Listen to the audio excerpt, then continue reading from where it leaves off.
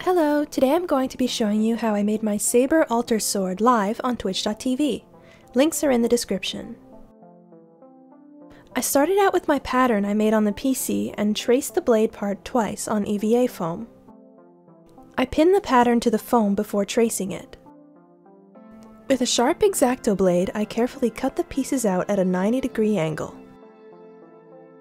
Then I removed the blade edge from the pattern.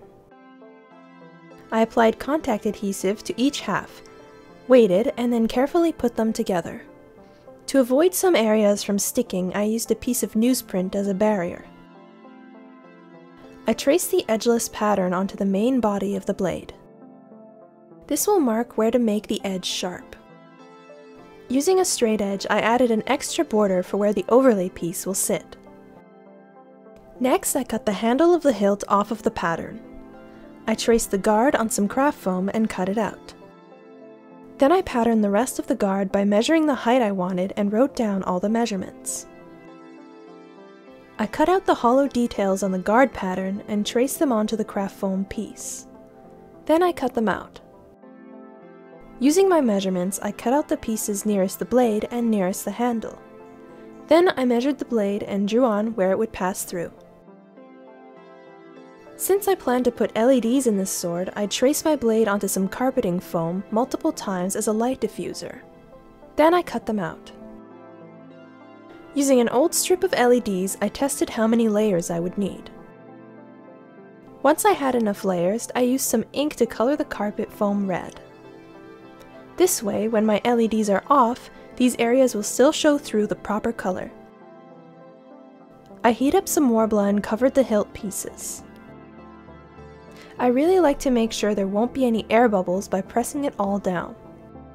I used a clay tool to push the details in, followed by the edges.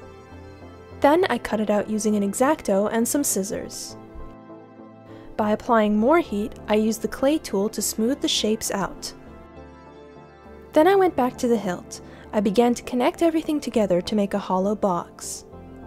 Using a piece of foam, I made sure the box kept a 90 degree angle. Once connected, there's still missing a face. I traced the box on a sheet of newsprint and then traced an inner line to take into account the thickness of the Worbla. I cut it out and used a pattern to trace the hollow details. The piece I'm making has to sit flush as a cover for the box. I'm cutting some foam as a border for the inside. Then using hot glue, I glue the foam inside. I traced the lid pattern onto some craft foam and tested the size. I went back to the blade and used a rotary tool with a stone bit to round the edges of the 4mm foam. I used a sanding drum on the edges of the box to clean it up. I pinned the overlay to the blade and used my heat gun to make sure it kept the right shape. I also used black paint marker to dye the insides of the overlay since it would be hard to paint them once the windows connected. Now it was time to shape the blade edge. I started by making the two halves flush. Using a belt sander, I carefully sanded down the edges and flowed with the belt and the blade evenly. Once the blade was sanded, I cut the center out of it to make it hollow. I left the end on as a support. Before continuing with the build, I traced the blade on some newsprint so I can make sure it sits the same as before, once covered in Worbla. Then I slowly, carefully covered it with Worbla, one section at a time. Again one section at a time, I cut the excess off. The cover of the box is also covered in Worbla. I cut holes for magnets and glued them into the foam parts.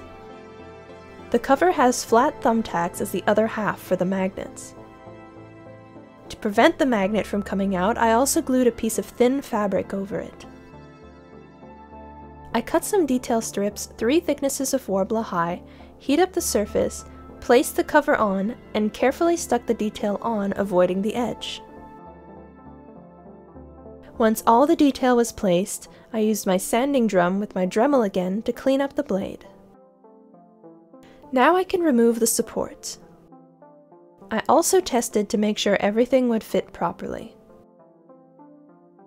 Using some Worbla scraps, I heat them up and use them to hold the blade in place on the inside of the guard box. The window and the carpet foam was glued to the correct parts and I used contact adhesive to glue the overlays on. Now the blade is put together and hollow for LEDs. The handle is actually a stairs railing pole and is connected in the same way as the blade. A few extra detail strips were placed at the base of the blade and the handle. Now on to priming. I coated all of the Worbla parts in spackle. The window spots are covered up using the same pieces cut out of the foam to protect. Once dry, I sanded it all down very carefully. I brush away the dust to make sure cracks aren't being hidden. The next step takes place outside. I spray about 4 layers, for Black Worbla, of automotive primer onto the whole blade. Then I sand it smooth again. Then back outside, I base coated the blade in black acrylic enamel. Time to add LEDs. I made my circuit with red LED strips and wrap them around a clothes hanger, but you can use anything that works for you. Then I slid the lights carefully through the blade. Now I carefully glued the rest of the LEDs inside the guard and placed the battery holder and switch at an accessible area. I touched up any areas lacking paint and then tested the lights. Then I was able to varnish my sword with acrylic lacquer until it was as glossy as I wanted it. Thank you so much for watching and I hope to see you next time.